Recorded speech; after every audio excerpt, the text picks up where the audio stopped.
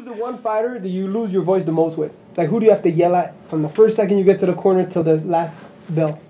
The last fight that that happened, because it, it, you know, I could say with Brandon when he won the title, because you know, uh, but uh, the last time that that happened, where I lost my voice, was uh, with uh, with Elvis Buenrostro. Remember the that that uh, that card where uh, where a guy got disqualified, uh, Oscar got disqualified. He was he turned pro. He won a decision, but he got dropped. Remember? So we for four rounds we screamed. I screamed my lungs out, and, And next he won? day he won. next day I was fucking. I couldn't speak, and that it was for a four round fight. That was Elvis Buenrostro. What they need the most instructions. Yeah, I kept screaming out loud. That's fucking incredible. So, question for both of you. I always think about this when you give your fighter instructions, the other fighter can hear what you're telling them too sometimes, right? yeah.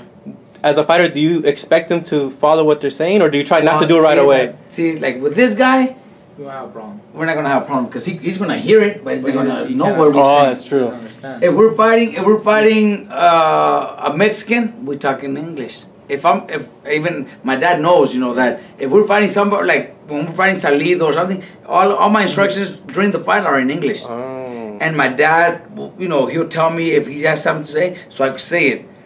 Uh, if if we're fighting somebody that that speaks English, we'll say in Spanish. And if you speak both, then you just Then we just you know. got to do it. And we don't have codes either. There's a lot of terms that have codes. They have codes For certain. for certain punches, combinations. We don't. We don't. Yeah. So if Robert gives you an instruction in the fight, do you do what he tells you right away, or do you try to wait if you know the other guy knows what he no, told you? I, not.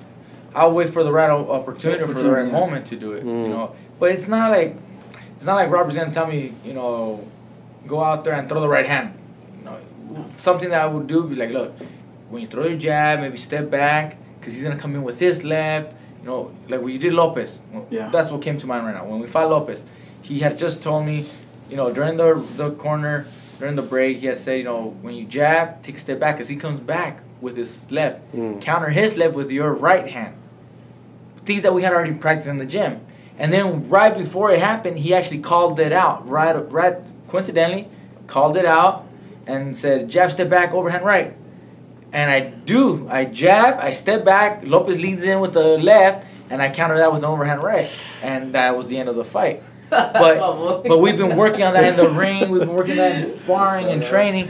So he'll just remind me, you know, it's not something new that, oh, I gotta try it. You should wait for the right And there's a lot, a lot of times where I could, say, you know, throw the right hand. Doesn't mean I want Right you to now. throw it there because Oh. Uh. maybe the guy heard and he's gonna be aware and, and maybe that's not the right moment. Mikey, you know, if I if I scream that out to Brandon, maybe he'll throw it. Yeah. But Mikey kn- knows it's you know throw it when you have that chance. Uh, so it, it, the fighters understand how. yeah, my, Mikey Mikey will understand it. If I say you know right hand, look for the right hand. He's not because I'm telling him right hand. That means throw it right there Yeah. and maybe get counter or something. No, do it when the right time comes. When that when that opening is is, is available. Man, that's good insight right there.